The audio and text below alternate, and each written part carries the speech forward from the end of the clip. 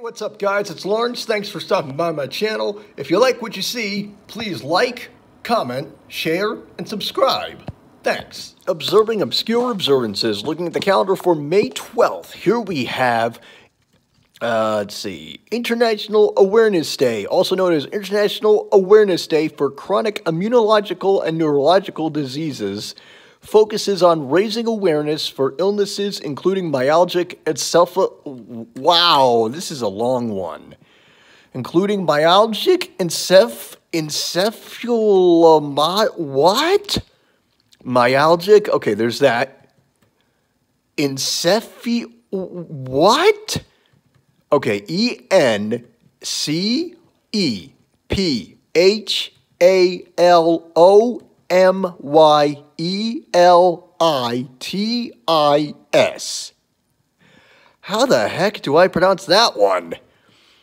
Encephalomyelitis? Wow. Encephalom. Oh, jeez. Encephalom. What? Encephalomyalgic encephalomyelitis? Oh my gosh, that's a mouthful. Chronic fatigue syndrome. There we go. Fibromyalgia. Okay. Chronic fatigue syndrome. Fi- wait, wait, wait, wait, wait, wait, wait, wait, wait, wait, wait, wait, wait, wait. This is going too fast. Myalgic encephalomyelitis. I don't know how to pronounce it. I'm very sorry to any medical professionals who are watching this and are probably screaming at their computers that I'm mispronouncing it. That's known as ME. Then there's chronic fatigue syndrome. And that Phil, uh, Filbert, Filbert, Filb, oh, Fibber, Fibber, fibromyalgia? Fibromyalgia? Ugh. Okay, folks, I have no intention to be in the medical field in this at this stage of the game. Gulf War syndrome and multiple chemical sensitivity, MCS. These illnesses, okay, here we go. These illnesses result in symptoms such as chronic muscle and joint pain, poor stamina, cognitive problems, and others. I go back here because I jumped to, uh, oh boy, cognitive problems and others. The day takes place on the anniversary of the birth of Florence Nightingale, an English Army nurse who helped inspire the founding of the International Red Cross, who also was bedridden for much of the last 50 years of her life as she suffered in what might have been uh, chronic fatigue syndrome. There we go. Tom Hennessy, the founder of Rescind Inc. Wait, wait, Tom Hennessy, the fa- wait, wait, wait. To- Tom Hennessy, the founder of Rescind, R E S C I N D, Incorporated. And that stands, okay, Rescind Incorporated. Repeal existing stereotypes about chronic immunological oh, there's that word again. Uh, repeal existing stereotypes about chronic immunological and neurological diseases, came up with the idea for the day and thought that it should have an international focus. In general, many of the medical. Wait, wait, wait, wait, wait, wait, wait, wait, wait. Uh, in general, many in the medical establishment don't know a lot about these medical issues, and it is up to those affected by the illnesses to raise awareness about them. The day has been grassroots in nature, being undertaken by individuals and organizations, but at the top it is organized by Action Signed, a Canadian charity. Activities have ranged from wearing a t shirt of the day to creating a large gathering with public speakers. Can't do it this year in recent years, international Light Up the Night challenges have had the goal to get people light up public spaces and private. Wait, wait, wait. Goal of getting people to light up as many buildings, both public spaces and homes, as they can. Blue is symbolized CFS, purple for uh, FM, fibromyalgia, fib, fibromyalgia, if I'm saying that right. Fibular, wait, wait, fibromyalgia, am I saying that right? I don't know. And green for MCS, or lime. Lime color, I guess. Okay, woo. That was a mouthful. And that should tell you right there why I do not belong in the medical field at all. Oh, and here's the thing right here International, okay, yeah. International Chronic Fatigue Syndrome Awareness Day. And it is also known as International Myalgic Encephalomyelitis, that damn word again, that damn long word again that I can't pronounce. International Nurses Day annually on May 12th. I did not know that Nurses Day was May 12th. I always thought like Nurses Week was the first Monday in May, starting off that week. Lag Bomber, also known as Lag Bomber, Lag Bomber, and Scholar, Scholars Day. Okay, here we go. All right, where's it at? Uh, all right, hang on. Okay, taking place between Passover and Shavuot. Shav Shavuot? Shavuot? Am I saying that right? Shavuot? I should know how to say this stuff, but uh, uh, I don't know. Taking place between Passover and Shavuot, Lag Bomber, also known as Lag Bomber or Biomer, what? Lag Bomber, also known as Lag Bomber or Lag Biomer, is also is, oh my goodness, boom, is a Jewish holiday celebrated on the 18th day of the E. Wait, wait, wait, wait, wait, wait, wait, wait, wait. The 18th. Wait, wait, wait. This is uh, Jewish holiday celebrated on the 18th day of the Hebrew month of Iyar on the 33rd day of the counting of the Omer. Why this is, while this is the name, while this is the name, while this is the name, why Ah, while this is the name by which it is known by the Ashkenazi Hasidic Jews, it is called Lagna Ubra by Saritic. What? I have no idea what this one is all about. This is a lot of stuff to contend with.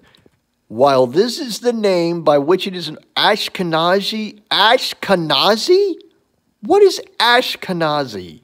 And Hasidic Jews. It is called Lag Omer by Safari. Wait, wait, wait, Safari. Wait, wait, wait, Safari? Wait, wait, wait, wait, wait, wait, wait, wait, wait, wait, wait, wait, wait. Sephardi. Sephardi Jews. I don't know what the Sephardi Jews are. And it literally translates to and the day mean and the day literally mean means 33rd in the Omer, the first, ah, 33rd day in the Omer. The day was first mentioned in writing in the 12th century. It was celebrated by rabbinical students in the Middle Ages. They called it Scholars' Day and played outdoor sports to celebrate it. The previous days of the counting of the Omer are a period of mourning and spiritual growth, but the mourning is lifted on the 33rd day, and people celebrate with parties, parades, bonfires, weddings, music, picnics, barbecues, and other outings. Not this year.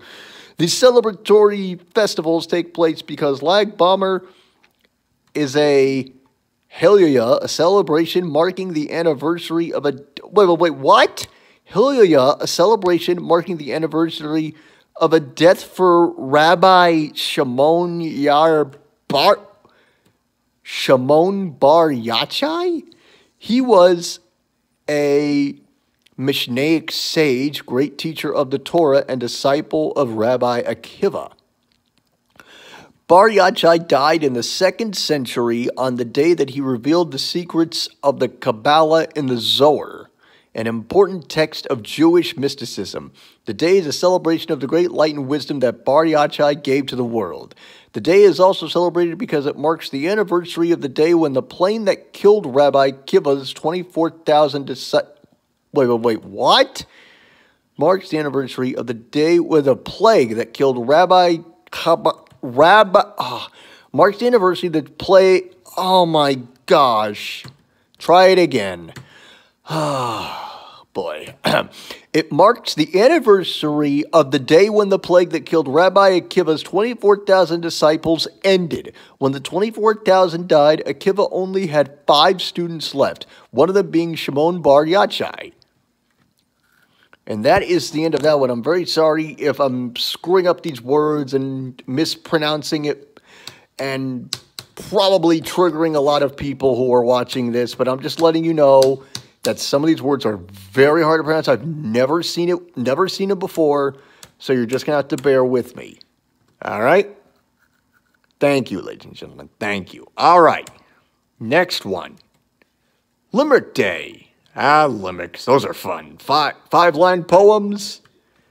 Oh, those are fun. Oh, okay. Here we go. Okay. I do know some limericks, but they're very dirty, and I'm not doing them on these. I'm not doing them on this channel. I'm just letting you know. I, I know a lot of dirty ones, so I'm I'm I'm, I'm not I'm not doing it here. so, uh, all right, here we go. Limerick Day celebrates both the Limerick poem and the birth of Edward Lear, who popular, pop, popular Limerick Day celebrates the Limerick poem and the birth of Edward Lear, who popularized the poem and was born on this date in 1812. It has been celebrated since at least 1987 and is marked by the reading and writing of limericks. Limericks are short, often humorous or riddled poems. They consist of five lines. The first two lines rhyme with the last line, and the middle two rhyme with each other. This is an example of an AABBA rhyme scheme.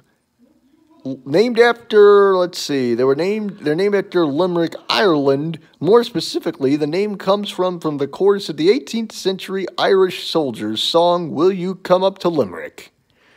The first limericks were written around 1820 and popularized by Edward Lear, starting with the release of his Book of Nonsense in 1846. He said he got the idea for the book from a nursery rhyme that began with There was an old man with from Tobago? Okay, an old man of Tobago. Limericks gained in popularity at the beginning of the 20th century, and limerick contests were created by organizations such as magazines at that time. Yeah, there you go. All right. What else do we got here? Okay. Uh, hold on. Oh my God. National Fibi. Oh man. Well, there's no description. National Fibro. Fibro. Oh my. National Fibromyalgia. My. My. Myadgerall Day. I don't know how to pronounce these medical terms. National Nutty Fudge Day. Mmm. Nutty Fudge. Odometer Day. I didn't know that existed. Gotta roll back the odometer sometimes, folks. And there's that great scene in Planes, Trains, and Automobiles where they get pulled over and the guy says, Sir, do you know how fast you're going? And John Candy goes, No, sir, on account of our speedometer's melted. I know that's a speedometer and an odometer thing, but still, it's like I can think of. Well, actually, not to the back. All I can think of now is that scene in Ferris Bueller's Day Off where Cameron and Ferris are driving the car around, and Ferris is like, What the hell are we going to do, man? And Cameron's like, Don't worry, you'll just roll the odometer back. Sex Differences in Health Awareness Day. No information on that one. And there's nothing left on this one other than I think, I think we should have a day honoring George Carlin. May 12th, I think, should be George Carlin Day. All right. Well, thanks for watching, everybody. I'm Lawrence Ross, and I will see you later. Bye-bye. Hey, guys, it's Lawrence. Well, that's the end of the video, but before I go, I want to thank you guys for checking out the content. If you like, you can check out my radio show every Friday evening at 7 p.m. on rasradiolive.com. That's R-A-S radiolive.com, radiochaos.net, and in this case, it's chaos with a K, K-A-O-S radiochaos.net or nonamenetwork.net. It's called the LRWS, and check it out. We also have a store, teespring.com, T E E, spring.com forward slash stores forward slash LRWS. And if you want, you can check out my Patreon page, patreon.com forward slash LRoss1987. Thanks for watching.